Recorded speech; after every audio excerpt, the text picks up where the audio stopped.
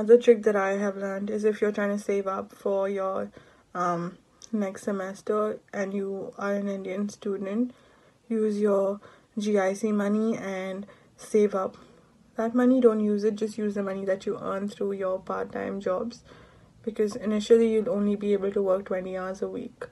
So use that money and save up and it'll be it'll be so much easier for you.